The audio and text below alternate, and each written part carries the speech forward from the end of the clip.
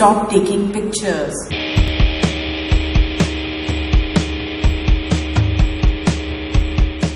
जया बच्चन सुबह एक कॉलेज के इवेंट पर फोटोग्राफर्स पर भड़कती है कि बात करते वक्त उनकी तस्वीर लेना बदतमीजी है।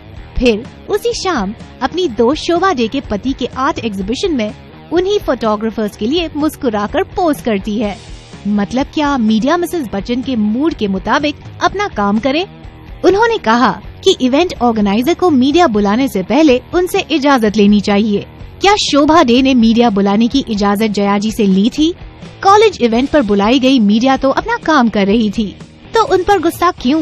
I hate it because it's right into my eye. These are basic manners we Indians have to learn. इससे पहले भी वो अनगिनत बार मीडिया वालों पर आग बबूला हो चुकी है। कभी किसी ने उनसे अभिषेक के बारे में सवाल किया हो या फिर उनसे मंत्री होने के नाते बजट पर सवाल हुआ हो। जवाब की जगह उनके मुँह से गुस्सा ही फूटा है। कोई उनकी फ़ोटो ना ले, सवाल ना करे। तो अब कोई ये बताए कि जया जी इन इवेंट्स में जाती ही क्यों है, जहाँ मीडिया मौजूद हो।